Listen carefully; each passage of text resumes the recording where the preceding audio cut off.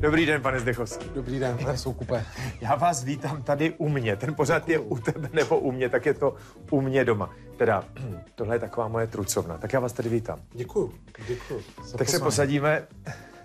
Já jsem si dovolil tady z naší zahrádky. To je všechno, No, co tady v okolí vyroste. Rajčátka, No, teda kromě kafe a vína, které je teda moravské. Není to škoda, nemělo bychom to dát na slivovici. Ale tady minulý rok, tady v Říčanech, se na pálení hrozně čekalo. Na někoho se vůbec nedostalo. Bylo tady toho tolik, že... jo, no. My jsme no. rok měli jaký úrodu a my ty vlastně slivovici, kterou, kterou z toho pálíme, tak říkáme zdechovice. A to už mám několik lidí, kteří vlastně na to čekají, až když něco vypálíme, tak No, aby jsme to přinesli. Zdechovice. No každopádně, tak jo. A Tady teda není Zdechovice, ale bílé víno. Je to více-méně neformální rozhovor o tom, co nás dva bude zajímat. Takže já předpokládám, že to tak trochu bude o politice, ale každopádně teď, na začátek. Já vám gratuluju. My jsme se viděli před volbami do Evropského parlamentu. Vy jste ve volbách uspěl a jste europoslancem. Jste rád? No, uh, asi bych lhal, kdybych řekl, že nejsem šťastný. Opravdu si myslím, že ten půl rok té přípravy a toho ježdění a opravdu objíždění od toho domu k domu, tak byl poměrně hodně náročný a jsem rád, že v té práci můžu pokračovat, protože vlastně to, co jsme rozjeli, ať už je to ty témata týkající se Barnevernetu, tak se ukazují dneska, že jsme měli ve všem pravdu a všechny ty eh, pseudointelektuálové, kteří na nás křičeli a říkali, jaký jsme lháři, tak teďka se všechno potvrzuje. Soud, Evropský soud pro lidská práva bere jednu kauzu za druhou, uznává ji a mm, vlastně bude ji posuzovat. A ten Barnevernet, když už jsme u toho, to je norská sociální služba, zřízená státem, která teda dohlíží nad správnost výchovou dětí žijících v Norsku. A proslavili se v úvozovkách, teda proslavili se takovou tou nepřiměřenou tvrdostí, že co je málo norský, tak ty děti odeberou a dají je do pravý norský rodiny, což teda mimo jiné eh, potkalo paní Michalákovou. Všechny ty rodiče, já jsem to trošku sledoval, ne jako vy, v Polsku, v Česku a tak, si stěžovali norským úřadům a tam se nic nestalo. Tam oni několikrát... Norský soudy při, při přeskoumávání těch rozhodnutí toho Barnevernetu nic, nula. Ne, a ten no- Evropský soud co? Norský soudy občas jakoby i těm rodičům dali za pravdu. Ale oni se odvolávali, odvolávali a až potom třeba nějaká instance čtvrtá vlastně rozhodla, že teda je nevrátí, protože ten soud se táhl dva roky a děti si prý u pěstounů zvykly. A tam je teďka strašně důležitá u toho Evropského soudu pro lidská práva jedna kauza. Protože to je kauza, kde vlastně ten norský stát hájí ten, ten svůj systém. A když si přečtete, co tam padá za perly, jakoby, že e, norský stát se takhle rozhodl a že Norsko prostě chce tenhle ten systém a že jsme si ho takhle jednou stanovili, tak to musíme držet. Tak to je obhajoba, jak když bych ve 39. se snažil tady bránit prostě určitou část české populace. Prostě žádný logický argument, žádná jako odborná studie. A Čistě ideologická, ideologická, ideologická věc. A, no. A paní Michaláková? Ta svoje děti čtyři roky neviděla. No právě. A to je prostě podle mě, je to jeden ze zločinů, protože paní Michaláková vychovává dítě uh, svého přítele. Paní Michaláková mimochodem pracuje v mateřské škole. No. A prostě mm, v žádném případě nemůže vychovávat svoje děti. Mimochodem máme další kauzy, který, kdy uh, Barnevernet odebral dceru a té matce se narodil syn a vlastně v těch kauzách to obhajují tak, že eh, na výchovu dcery neměla dostatečné kompetence, tudíž to nevrátíme a asi nás nezajímá, tam už ta matka Tam se už, snaží. se, už, se, už se to nějak jako vyzkoušela. My jsme jí to ukázali, co může a nemůže a teď už si dá pozor, no to je výborný. No a když jsme, eh, no tak o kontroverznosti eh, toho a nepřiměřené tvrdosti toho norského systému jsme se bavili už před těma, eh, před těma evropskýma volbama. A mě zajímá ten osud ty paní Michalákový. Vypadá to, že ty děti teda dos, dospějí. A ten, ty, všechny ty právní, různý, různé právní procesy, ať už v Norsku, na evropské úrovni, se prostě potáhnou, potáhnou, potáhnou a ty děti pravděpodobně dospějí a, a, a, a nic. Vypadá to tak, ale Eva Michaláková byla první, vlastně je taková vlajková loď a byla první, která do toho šla takhle otevřeně a takhle velikánským způsobem to medializovala. Teďka v září budou demonstrace zase po celé Evropě, protože se brali Bulharům dítě. Těm norům to nevadí? Vadí to, kdybyste... Jako norský vládě, norské vládě, uh, prostě vedení státu nevadí tahle negativní publicita? Vadí, ale oni to řeknou, že to je ruská propaganda velmi často jako označejí ty, kteří je kritizují jako součást třeba ruské propagandy a hrajou to dovnitř. A já si myslím, že v Norsku už se trošku obrací vlastně to vnímání Barnevernetu, hlavně hodně e, především Norové, kteří žijou v zahraničí, vidí, jak ten systém prostě totálně selhal a těch kritiků je čím dál více. Norská, teda norská propaganda, ruská propaganda. Jsem se o sobě taky dočet, že jsem uh, ruský agent ale já jsem v Rusku byl jednou v životě. Já tam vůbec nikoho neznám. Ale ve škole jsme se učili rusky, takže jakž takž se nějak domluvím rusky. A zjistil jsem, že jsem ruský agent. A je to jenom proto, že se tady bavím s Milošem Zemanem a ten je teda prokazatelně uh, ruský agent. Takže to škatulkování asi není, není jenom otázkou Norska, ale i u nás. A o tom jsem nechtěl nechtěl mluvit, pokud tomu tedy nemáte nějakou poznámku. No, já, já jsem taky ruský agent, takže asi jsme dneska máme tady setkání jako švábů. ruských švábů. Já ani nekomentuju, když to, si to vždycky přečtu a píšou to lidi, kteří prokazatelně ani nevědí, co to ruský agent je a jak funguje. No, pane Zdechovský, mě zaujala jedna věc, na to se chci zeptat. Vy jste studoval univerzitu v Římě. Pak jste studoval žurnalistiku v Česku. Uh, umíte teda hm, italsky, anglicky, francouzsky, francouzsky, česky samozřejmě. A německy. A německy. Dvě univerzity. Tři univerzity. Tři univerzity. Tři univerzity. Já jsem studoval na teologický, jsem studoval dva obory. Já jsem jo, byl přijatý na jeden obor a ten jsem potom rozdělil a, a pak jsem vystudoval v Římě na Papižské univerzitě mediální studia. A, není vás na tu politiku škoda? a kdo by to jiný dělal? jako, tak... no. A pak jste dělal novináře. Pak jste byl majitelem poměrně úspěšné firmy na krizovou komunikaci. Poměrně vyhlasný. To všechno jste opustil a jste politikem. Já jsem v tom hledal logiku. Když se říká, že podnikatel, a vy jste byl úspěšný podnikatel, do politiky nepatří, protože když půjde do politiky, bude chtít z ní jenom peníze, protože logicky podnikatel nic jiného než peníze nezajímají. Uh, tak mi to vysvětlete. Hledajte, je to, u mě je to tak, že v 18 letech mi umřel táta, takže od 18 let, vlastně týden po tom, co jsem nastoupil na vysokou školu, tak jsem si musel vydělávat. Řada mých spolužáků vůbec na vysoké škole netuší, že já jsem ráno, každý ráno vstával v 6 hodin a chodil jsem někde dělat zprávy a chodil jsem sbírat rozhovory a prostě vůbec nevědí o mý činnosti, kterou jsem prostě během toho běhu dělal. Když jsem byl v Římě, tak jsem eh, dělal dopisovatele pro několik českých médií, aby jsem si vydělal na to studium. A ten život byl takový, takový bych řekl, urychlený. Já jsem se ve 24 ženil, eh, poprvé vlastně jsem se ženil a bylo to takový, Jsme teda že... na to mimo, mimo jiné úplně stejně. Já jsem se taky poprvé ženil ve 24. No nic, to byla jenom taková No a, a tam jsem musel vzít tu zodpovědnost, takže jsem se šel založit živnostenský list a začal jsem podnikat.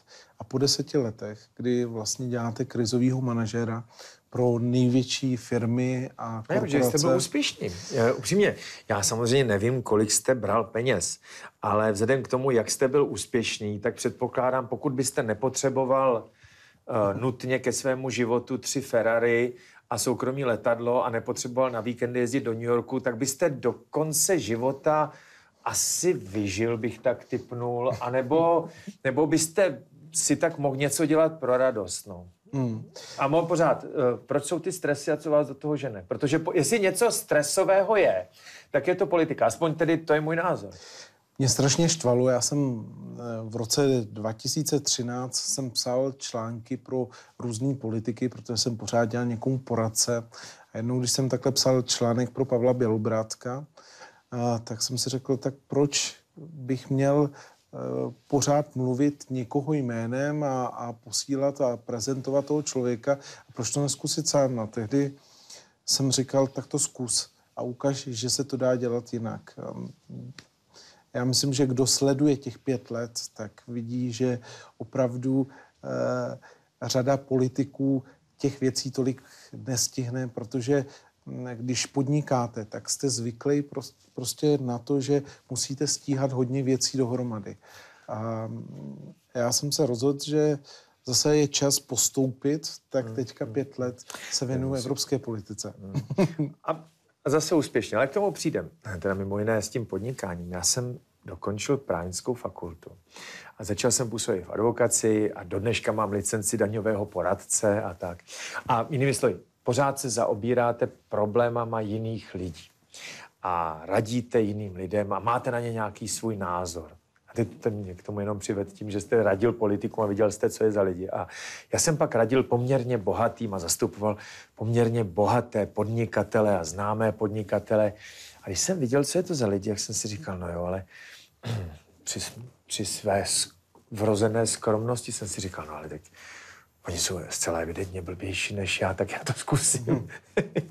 já to zkusím a začal jsem takhle podnikat, no jestli úspěšně, to nevím, ale uh, byla to taková, takový asi podobný syndrom těch poradců kdybych to tak měl nazvat. No ono, Syndrom poradce. Ono mimochodem moc krátce ten, ten příběh toho poradce nebo toho asistenta, jak tomu říkáme, jakoby přetavit na, na toho politika úspěšného nebo neúspěšného příliš nepodařil. Velmi často ty lidi vyhořejí, nebo potom, když jsou v té první linii, tak najednou zjistí, prostě že to zjistí, že A teď, tam tak, tak dobře, tak ta politika. Tak my po, pojďme si chvilku, po, anebo já nevím, jestli si o něčem jiném. No tak o politice. o politice.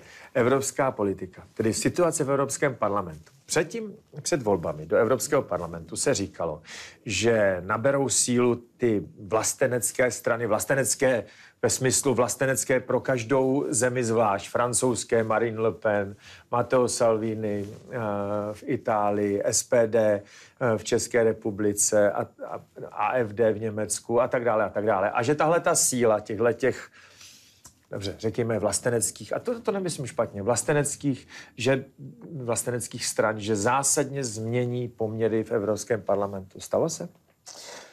No stalo se to jenom částečně. Problém všech těchto z těch stran že jsou uh, nacionální. A oni potom, když přijdou do toho evropského, bych řekl, ringu, tak spolu nedokážou příliš komunikovat. Takže oni se nejdřív spojili a pak zjistili, že že to spojenectví jim moc nepřináší, tak už se někteří začali z toho spojenectví odhlašovat, někteří se rozhádali a dokonce teďka asi před eh, dvěma dny mi psala kolegyně, že nějaký kolega vlastně končí v Evropském parlamentu, že to eh, nenaplnilo jeho očekávání. No, což... já, já si přiznám, že totiž jsem se v tom trochu ztratil, takže teď tak jako ze zájmem vás poslouchám, jak to tam teda vypadá v tom Evropském parlamentu. Eh, viděl jsem, že Jean-Claude Juncker, bývalý šéf Evropské komise, což je tedy jiný orgán než Evropský parlament, ale je to takový asi nejviditelnější reprezentant, jak to říci, Evropské unie. politické vůle v Evropském parlamentu a Evropské unii. Byl hodně kritizovaný. On měl ty svoje alkoholové excesy, kterým říkal bolení zád nebo tak něco.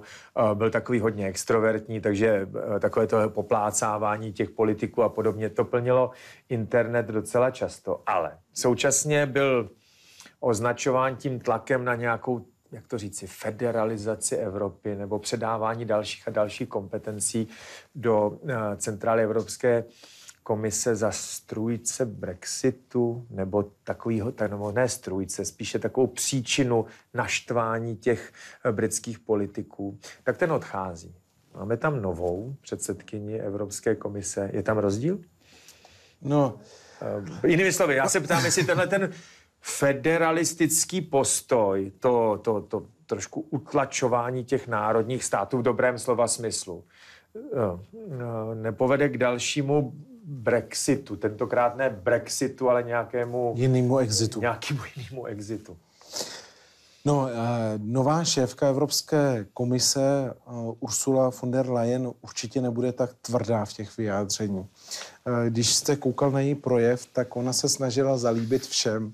Takže ten její projev, když byla kandidátka CDU tak eh, mně chvíli připadal jak eh, vystřížený ze socialistického nebo zeleného manifestu. No, mě to tak Takže... jako, já jsem tak narážel, když jste totiž říkal, když, se, když jsem se vás ptal, jestli se změnily ty poměry v tom Evropském parlamentu, tak já když jsem si četl tedy projev uh, Ursuly von der Leyen, tak jsem si říkal, no, asi moc ne. no, ona vypadá, že se zalíbí úplně, úplně všem, včetně včetně sekretářkám všech sekretářů, takže ne, prostě eh, zatímco Jean-Claude Juncker byl premiér státu a byl to dobrý vyjednávač, i když měl nějaké excesy, prostě lidi mají rádi trošku kontroverzní postavičky a on prostě jí určitě byl, tak eh, Ursula von der Leyen je taková paní, kterou Eh, která se bude v úvozovkách líbit všem nebo jim nebude spíš vadit. A myslím si, že to její vybrání je poměrně taková facka všem, kteří chtěli eh, reformovat Evropskou unii, protože myslím si, že po těch jejich projevech a po těch jejich vystoupeních, které jsem viděl, tak jediné, co určitě nebude dělat, tak že bude dělat nějakou reformu. Reformu, to, no, no, no. Tak to jsme se na tom asi shodli, že já z těch výsledků nejsem úplně jako nadšený, úplně naštvaný, je to takový... Nějaký. Nějaký, no. Poslední věc k evropské politice, než půjdeme k... Teda, jestli nemáte jiný téma, já to tak jako hrnu, protože já vás rád vidím a hrozně mě zajímají vaše názory. Donald Trump se jednoho dne zbudil a řekl, že hodlá koupit Gronsku. Já jsem myslel, že je to jako fake news, jo? že to je blbost.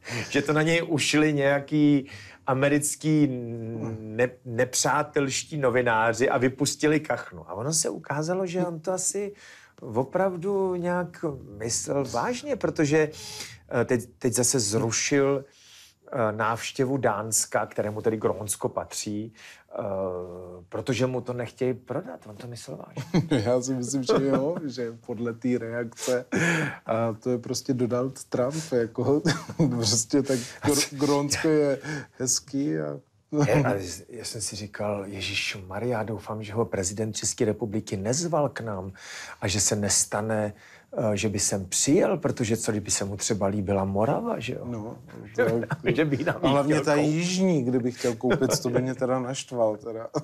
ne, tak to bylo teda bizarní. A máte, ne, zachytil jste něco, co na to říkali Dánové? Já jsem si jenom představoval tu královnu Margaret II.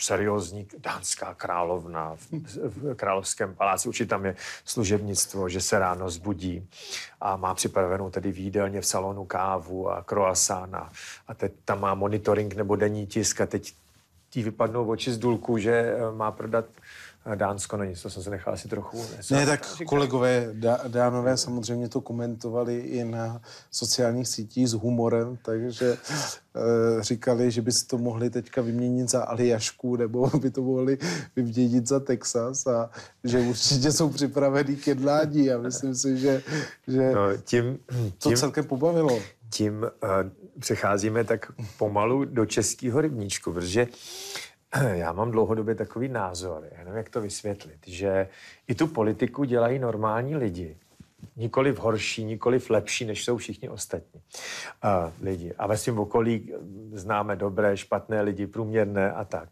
A uh, já jsem ještě tak specifický, že mám rád skoro všechny lidi, takže tak nějak nemám příliš velké iluze, že by politici byli lepší než ostatní. Jenom se na ně kladou možná některými novináři větší nároky, ale jsou stejní. V pohledu tohodle, když vidíme, co dokáže vyvést Donald Trump, z pohledu toho, že jste v Bruselu a ve Štrasburku, uh, jak hodnotíte tu situaci teda dnes tady a toho, co se dělo v posledních několika týdnech. Zase ta debata o demokracii, nedemokracii, porušování ústavy, neporušování ústavy. Pan Šmarda ano, pan Šmarda ne. A no prostě ta situace tady. Hete, uh, pro člověka, který tady žije, by to mohla být komedie, ale ona to prostě komedie není. Je to ukázka toho, jak uh, někdy, když člověk, který je nepolitik, vstoupí do té politiky a najednou je svázaný nějakou, nějakýma regulema, tak prostě v nich nedokáže fungovat. Pan Šmarda, ten mě pobavil nejlepší jeho výrok na konci, když, když komentoval pana Babiše, to jsem se smál opravdu v tom novinovém článku, mimochodem v Mladé frontě, že do komunistické stra- strany nechtěl, ale matka ho tam přinutila. Je to pak eh, do STB nechtěl, ale zase byl přinucený, tam nechtěl přinucený a ve vládě eh, nechtěl pana Šmardu, ale navrhl ho, aby vyhověl partnerovi, takže má už něco dělat podle sebe. A myslím si, že tím to nejlépe prostě jako by vysvětlil, že pan premiér prostě občas vypadá, že neví, co chce a že na to, jaký je to, jako bych řekl, manažer tak, a majitel uh, druhý nejbohatší Čech, tak... Uh, tak se pojďme možná o něm bavit. Jestli vám to nevadí, pojďme se bavit o Babišovi. To by bylo... A ještě než se začneme bavit o Babišovi, tak mě zaujal jiný výrok pana Šmardy, který řekl, Uh, protože on byl tedy prezidentem republiky, označen za úspěšného starostu Nového města na Moravě, ano, ale uh, současně člověka, který nebyl v celostátní politice. Takže to nestačí na nominaci do vlády. A on na to řekl, že je lepší být hlavou uh, nového města na Moravě, než vocasem ve vládě, což teda... no a Babiš. A jeho úloha, historická úloha uh, v české politice, to, jak se tam zjevil, úplně otevřeně mě by zajímal váš názor. Protože co bych si povídal. Já si vašich názorů vážím. Já jsem pana Babiše potkal uh, ještě jako ten podnikatel, kdy vlastně jsem pro něj nebo pro jeho firmy dělal nějaké věci v, oblast, v oblasti uh, managementu. A to byl úplně jiný Andrej Babiš. Já nevím, jestli si to pamatuje, byli jsme mimochodem na Čapím hnízdě, byla tam u toho i Věra Jourová, ze kterou se znám ještě o hodně dříve, než, než se stala ministriní a posléze, posléze se stala komisařskou. A tehdy s ním sedět, tak uh, on říkal, že má 10 minut a pak se na mě nechal hodinu a půl a byl zábavný, opravdu zábavný. Opravdu jsem se bavil při jeho komentářích, jako by to, on tak jako glosoval všechno a neměl ty zkušenosti, takže eh, nejlepší jeho hlášky byly na Kalouska. To, to, to myslím, že mu pořád jako zůstalo. Vždyť ten člověk pořád krade, teď on krade celou dobu. To a nikdo proti němu nezasáhne a všichni to vědí, že jsou že a. Babišovo hlášky na Kalouska, to samozřejmě všichni známe, tomu tak nějak zůstal. Ale já eh, pana Babiše znaky znám léta letoucí a moje firmy pro ně pracovaly. A já jsem na to vždycky říkal, no tak on je takový mm, mikromanažer, on ty věci vždycky zná dopodrobná. Je to až jako neuvěřitelné, že si no. pamatuje do detailu. Rozhoduje sám a vychází mu to. V té politice asi bych řekl, že je to jako pro něj zatím nejtěžší mise, protože oni ty lidi neposlouchají. Oni ty lidi neposlouchají. Většina lidí do té politiky šla uh, zadarmo, kandidují zadarmo, uh, pohybují se v politických stranách jenom protože chtějí a neposlouchají. No. A myslím si, že uh, to je jeho nejhorší, nejhorší podnikatelský projekt, protože vlastně spousta věcí jakoby nevychází. Jo. Teď si vemte, koli, na kolika koních on to stavěl na Pavla Taličku, prostě Pavel Talička úplně vyhořel, dneska největší kritik Andreje Babiše na Twitteru Pavel Talička, který vždycky, jako se mu to osolí, vemte si Dana Ťoka, jako nejlepšího to, vemte si paní ministrině Šlechtovou. Já myslím, že kdybyste tady měl paní ministrině Šlechtovou, tak uslyšíte story o panu, eh, o panu premiérovi. Takže tam zjistil, že to podnikání úplně není tak jednoduchý a v té politice ty zásady v úzovkách intuitivního manažera, protože pro mě nebyl mikromanažer, on byl hodně intuitivní manažer. To prostě, eh, prostě nefunguje. nefunguje. A tam se ukazuje, že on, on opravdu, tak když jste manažerem firmy, tak samozřejmě musíte to věcně znát. Musíte mít svoje vize. Nikdo dopředu neví, jak budou fungovat média, nikdo dopředu neví, jak bude fungovat zemědělství za deset let, nikdo dopředu neví, jak bude fungovat krizový management váš, uh, vaše doména, jestli tam budou přes, dominovat sociální sítě nebo kontakty s novináři nebo podobně. To nikdo prostě dopředu neví, musíte mít vize. A ty úspěšní se ukážou, že měli pravdu, ale dopředu to nikdo, nikdo, neví. nikdo neví. A on se ukazoval jako vizionář v tom podnikání. On se opravdu, protože byl úspěšný, on se mu ten Agrofert podařilo budovat. A celkem i ten jeho tým spolupracovníků v Agrofertu uh, je stabilní.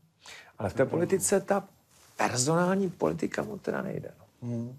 Protože prostě politika to je takový vyšší řemeslo. Tak když si vezmete uh, filozofy starověký, tak uh, si vemte, jak oni hovořili o politice.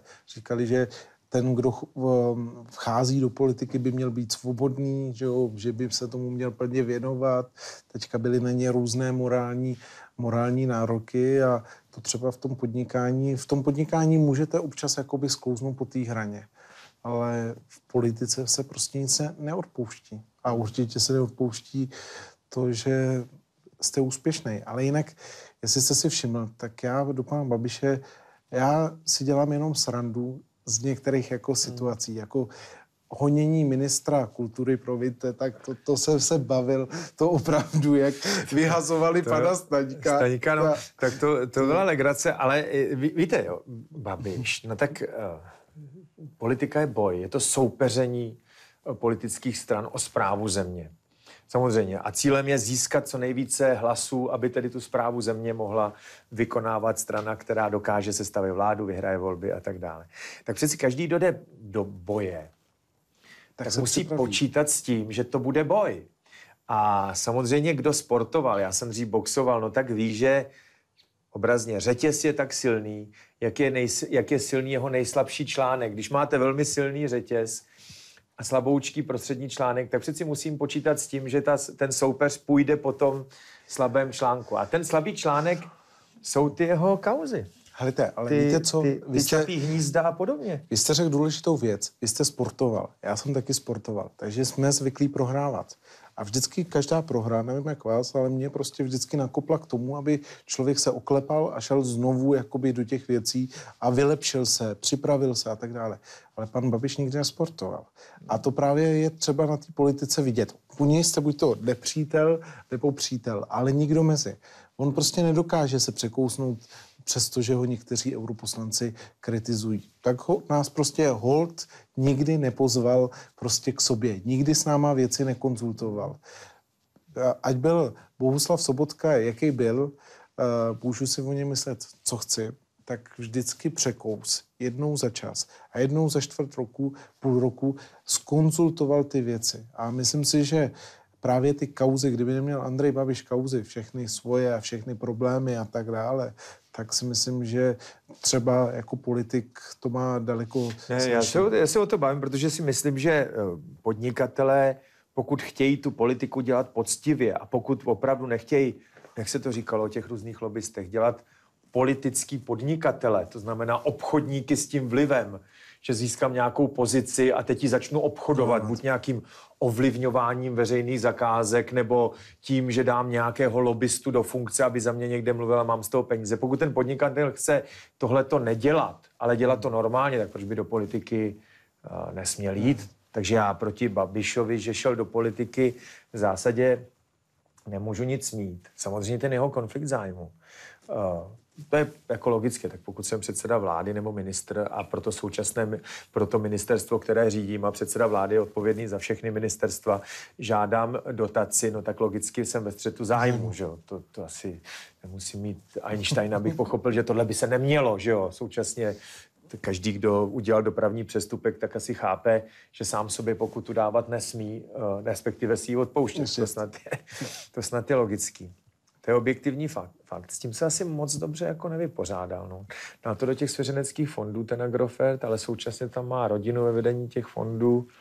Ale hlavně je ne, konečný Já se ptám na váš názor, no. No, tady, Protože vím, že se tím zabýváte, tak... To si myslím, že je průs...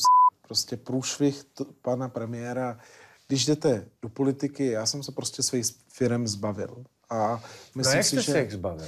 Nechal jsem spolupracovníkům. Prostě, no jo, ale jakoby, Agrofert. Je to. Ale, Toho se nezbavíte. Pro, prodat Agrofert, to podle mě ani nejde, protože ta firma má tak obrovskou hodnotu, že takových kupujících je na světě tři možná.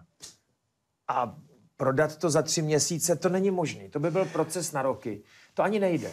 To jo, ale... No, protože já bych tu televizi asi, kdyby šel, to, to bych prodat mohl, tak já bych dal tady bance, ano, oslovte potenciální zájemce, ta naše banka by to udělala, sebrala by ty nabídky a řekla by, pane Soukupe, my jsme zpracovali informační memorandum, rozeslali jsme to tady těm uh, zájemcům, oni nám vrátili, že dva to nechtějí, dva to chtějí a tenhle ten nabízí tolik a tenhle nabízí tolik. Co máme dělat dál?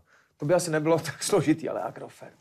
Hmm. A musel byste to asi rozdělit. Já, kdyby mi to svěřil, ať mu to prodám, tak bych mu to rozdělil na pět částí a prostě těch pět částí bych potom prodal a peníze, on mohl mít peníze a stejně to jednou tak skončí. Stejně jednou, až odejde z politiky, tak jestli si myslí, že se vrátí úplně jednoduše prostě do Agrofertu, tak se nevrátí. Prostě bez Andreje Babiše ty firmy nějak fungují a jeho vrácení už bude po, prostě po, i... Demonizujme to, že jo, ty firmy fungují dobře, na těch dotacích, co bychom si povídali, závislé nejsou. Tak... Většina z nich jako, asi ne, ale Babiš čas tam pak nešel jako proto, aby si ochránil svoje dotace. To hmm. asi jako... Ale někde určitě někde určitě si je dokázal jakoby ochránit ty svoje zájmy. To jako zase neříkejme, že... Škodí nám to v zahraničí, jak se, jak se mluví jako Bruselu, ten konflikt zájmu premiéra? On působí jako slabý premiér v zahraničí. On nepůsobí jako ten vizionář. Nepůsobí jako někdo, eh, kdo prostě má třeba vizi Evropské unie, kdo dokáže jakoby Českou republiku odprezentovat. Vždycky, když chtějí eh, když si chce někdo udělat z něho jakoby srandu nebo někdo ho chce jakoby schodit, tak prostě řekne, jo, tak to je ten, co krade ty evropské fondy, jo. A prostě mm, toho potom nezvou k těm důležitým kulatým stolům a k těm důležitým uh, akcím, které, kde se rozhodují ty věci. A to si myslím, že je jeho velký problém. Mimochodem Viktora Orbána nebo uh, polského premiéra prostě uh, Angela Merkel několikrát k sobě uh, zvala nebo zve nebo jim volá. Ale Andrej Babiš je uh, já ty informace Říká, nemám. Tak on se rád fotí, jak jezdí na zahraniční cesty do Bruselu a tak, tak jako z těch sociálních sítí, co já vidím, tak vypadá, že pořád s někým jedná. Vlastně ne, že ne. Nejlepší je kouknout se na sociální sítě Eh, těch, se kterými jedná. A třeba... Eh, Víte, to mě nenapadlo. třeba já, se, já sleduju bývalého rakouského kancléře Sebastiana Kurce ano. a eh, Andrej Babiš měl samozřejmě fotky, jak je všude s Kurcem a teďka měl vlastně Kurc záběry, jak přichází na radu a jak si tam podává se všemi fotky a jedinýho, koho tam neoznačil na těch fotkách byl Babiš a nezmiňovalo ani v těch, v těch popiscích a psal tam všechno o Macronovi a dal, všechny fotky, které tam měli, mimochodem byly takový, že byl k Babišovi vlastně zády. Že, tak... že jeho poradci si dali po, pozor na to, aby se nekontaminoval s českým premiérem. Nespojoval. Ne? No tak dobře, a, a to, tak promiňte, že to pořád hrnu takhle eh, dopředu. Teď vy jste to nakous, to ministerstvo kultury. Co jste tomu říkal? to, je, to je prostě, jako, jako omlouvám se, ale pan Staněk, to je hodně své rázná figura, to opravdu pan Šmarda, ten je ještě své ráznější a vyřešit to za orálkem. Já si po dnešku říkám, jestli vůbec to ministerstvo kultury jako k něčemu potřebujeme. Jestli když vidím, jak to funguje samospádem a jaký, jaký lidi se tam nominují, tak si myslím, že mm, to dokáže řídit Mickey Mouse. ne, tak já jsem tohle, eh, nechci tedy označovat pán Staňka, jo, pán Šmardu nebo pana Zaorálka za Mickey Mouse, jo, ale já jsem měl takovou jako kacířskou myšlenku a říkal jsem to tehdy prezidentovi ještě před prázdninami někdy v červnu, jestli jako nutný, aby jsme na tu agendu, kterou ministerstvo kultury dělá, měli jako ministerstvo, jestli by to nebylo dobrý rozdělit mezi jiný rezorty a pan, pan prezident říkal, že to určitě je nezbytný ministerstvo, protože rozděluje peníze na popravy památek, tak se na to měl takovou poznámku, že ty eh, investiční programy stejně vždycky schvaluje ministerstvo financí, jestli by na to ministerstvo financí nemohlo být rovnou a tím by bylo vyřešeno. Tak většina států má ministra kultury a tak teďka, když opravdu člověk se na to koukne, tak se může tomu z tomu zasmát. Prostě toto byla opravdu, opravdu fraška. To je jako, při vší úctě, já miluji... Kdo to zvoral z vašeho pohledu? A teď je, jako, fakt je to volná diskuze. Kdo to z vašeho pohledu zvoral? já si myslím, že všichni, že je prostě jeden aktér vedle druhýho. Já opravdu třeba působení pana ministra Staňka po Danovi Hermanovi a po všech těch různých ministrech, kterých jsem si vážil, tak teďka pan Staněk prostě na mě působil, působil komicky. Opravdu na mě působil komicky. Já jsem k tomu takový smířlivý, protože když se podívám zpátky za těch 30 let, a plus minus eh, okolo té politiky se pořád motám. Někdy aktivněji na začátku 90. let nebo před 12 lety se zelenými, anebo z pohledu těch médií, ale plus minus k ním mám pořád dlouho. Tak těch různých ministrů, ať už kultury nebo čehokoliv jiného, už tady bylo. A vždycky si pamatujeme jenom toho posledního a ty ostatní už nám tak splynou eh, splynou v jednolitou hmotu. Pan ministr Herman si myslím, že za pět let už ho budou znát možná jenom lidovci. Jo. Obávám se, že u pana Staňka to bude no. tak nějak podobný. No. Tak bych tomu byl jako asi smířlivější. A máte pravdu, že asi nejlíp to ministerstvo funguje, když tam zrovna žádný ministr není a jsou tam ty náměstci, kteří vědí, co mají dělat. Který prostě si nedovolí tam nic nikde uhnout z důvodu toho, že... Chystáte se jako lidovci do vlády? Protože, protože ty volby jsou v roce 2021. Tak my se chystáme určitě v roce 2020 udělat všechno pro to, aby jsme všude uspěli. A opravdu říkám, jak eh, třeba... Mluvíme o krajských volbách. O krajských volbách a o senátních, Senát. který budou hodně důležitý. Jak dříve třeba bychom někde šli jakoby samostatnějíc, nebo bychom tvořili koalici jenom s někým, s jednou stranou, tak teďka z důvodu toho, že chceme opravdu um, udělat takový blok proti, proti Andreji Babišovi, nebo ne proti, ale prostě vytvořit tady prostě opravdu sílu, která bude konkurenceschopná tomu jeho bloku nebo tomu jeho hnutí, tak uh, určitě budeme se snažit najít eh, silné partnery a vyhrát ty volby v co nejvíce krajích. No, protože už se to tak jako blíží. On ten rok 2019 se toho moc nedělo. Ano, byly tady uh, senátní volby a tak, ale uh, moc se toho nedělo. A ten 2020 už bude přitvrzovat a pak tedy 2021 vypukne uh, matka všech bitev, to znamená ty parlamentní volby a hned poté, hned poté o dva roky eh, později budou volby prezidentské, což bude ještě jaksi větší, emočně, emočně větší silnější. Eh, zásah, tak mě zajímá, jestli u vás už máte nějaké jako plány, postupovat nebo varianty, nebo už tam sedí Máme. týmy, které eh, připravují ten postup, nebo tak určitě, určitě. Říkám, máme nové vedení, nové agentury, máme nové lidi kolem sebe a snažíme se teďka Teďka se snažíme pracovat hodně dovnitř té strany. Vlastně zaměřili jsme se víc na ženy přirozeně, aby se dostávali do pozic a na mladší generaci, aby získávala zkušenosti a prostě připravujeme v roce 2021, aby jsme měli v každém kraji silnou kandidátku, aby jsme měli co nejlepší výsledek. Jsem se ještě zapomněl zeptat na jednu věc, ale to zase jenom doplněk k tomu ministerstvu kultury. Jak se tady zase rozběhla debata o postupu prezidenta, že byl povinen jmenovat a porušil ústavu. Porušoval z vašeho pohledu ústavu?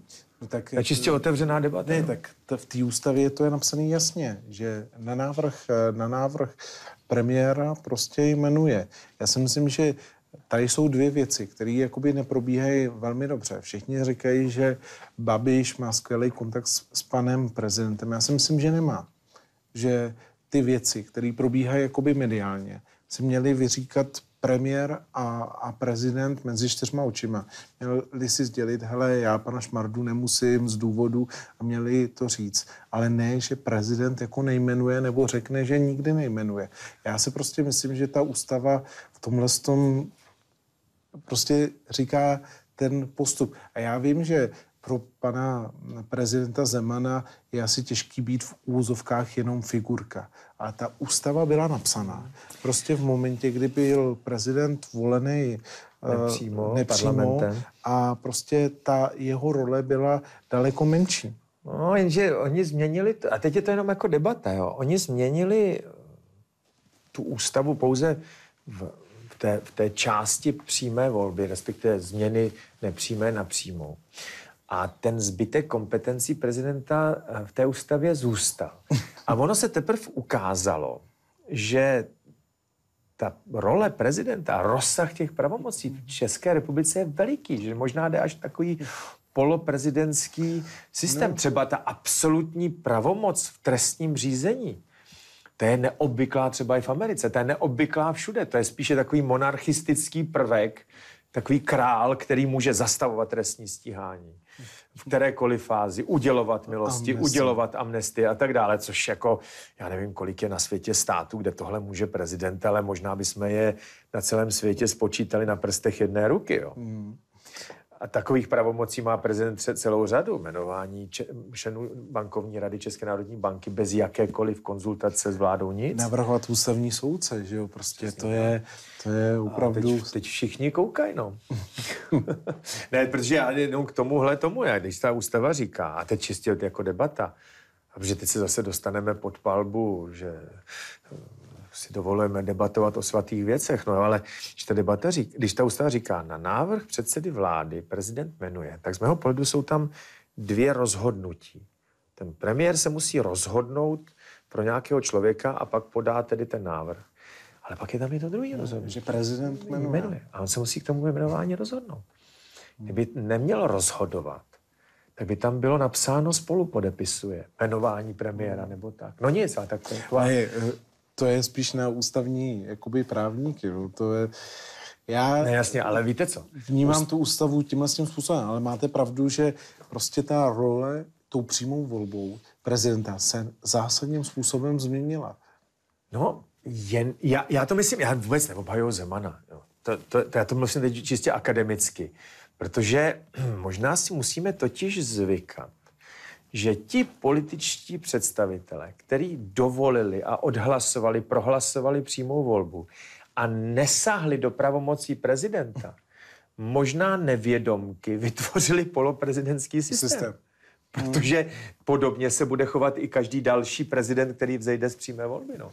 Pokud si teda volíme prezidenta, který bude slabý, což taky jako může být, jakoby. Že lidi v přímé volbě. No, já vidíme, říkám... sami, vidíme sami, že nejvyšší účast je v prezidentských volbách. Že v parlamentních volbách vy politické strany musíte přemlouvat ty voliče, aby tam vůbec šli. A když je to nad 50%, tak výborně. No a prezidentská volba přiláká 80%, aniž by kdokoliv jako cokoliv musel jako agitovat, že jo. No. Tak já jsem ještě čet, pane Zechovský, na závěr. Máte čtyři děti. A jak to zvládáte s tou politikou? No, spíš byste se měl zeptat... S tou evropskou, s tím ještě děti, jak to zvládají. No. Tak je to složitější. Nicméně, eh, já jsem to jednou řešil se svým kamarádem a on říká, hele, mm, nesmíš to brát jakoby perspektivou toho, že tvůj táta byl učitel, takže ten byl doma pořád, ale třeba perspektivou tvé mamky, která byla lékařská a ona doma nebyla, že jo? Ona sloužila pohotovosti, pak sloužila se záchrankou, pak jezdila na různé semináře, takže bych řekl, že jsem byl víc někdy vychovávan svým tačkou než mamkou a prostě tak to je, je to jiný, je to jiný. Já se s dětma snažím o tom bavit. Myslím, že máme super vztah se všema čtyřma. A je to tak, když jsem s nima, tak se jim snažím prostě věnovat a snažím se s nima vejít. A mm, oni si prostě museli taky na tohle zvyknout. No. No, já to tak spíš jsem se ptal, jak to zvládáte vy, když já to nezvládám. No. A to jsem tady 90%, 90% času v Česku. No nic, no. Náš čas bohužel je tak jako u konce skoro. Hmm. Jinak, jak jste říkal, politik, normální člověk, tak mimochodem já jezdím hodně po vesnických slavnostech. To mě inspiroval pan prezident a tam vždycky vyprávím lidem vtipy. A to je právě to, kdy eh, řada lidí si mě tam už dneska nezve kvůli tomu, že jsem europoslanec, ale kvůli tomu, abych jim odvyprávěl nějaký vtip. Takže... Jsem, jsem, jsem, jsem s tím, s nějakým... Řekl jste si o to. No, no jeden eh, výborný, který se mi v poslední době strašně líbil. To znáte, jak se potkají ty dvě babky a jedna říká tý druhý. Teda bože no, to ti nevadí, že ten tvůj starý pořád běhá za holkama. On říká, ne, nevadí. On říká, no koukej, pořád kouká na nějakou holku. On říká, hele, já jsem klidná. My máme doma psa. Když jede kolem auto, tak vždycky běží za tím autem a štěká. A myslíš si, že ho některé sveze? no, tohle říkají chlapi, aby ty svoje ženský trochu uklidnili. Ale dobrý, ne? Dobrý. dobrý. Tak jo, tak s humorem a vtipem to pomalu skončíme, protože čas uběhl. Já vám děkuji. Já vám děkuji, taky děkuji. Že jste přišel ke mně. Tedy ke Děkuji. Tak jo, tak to byl pan europoslanec Tomáš Dechovský.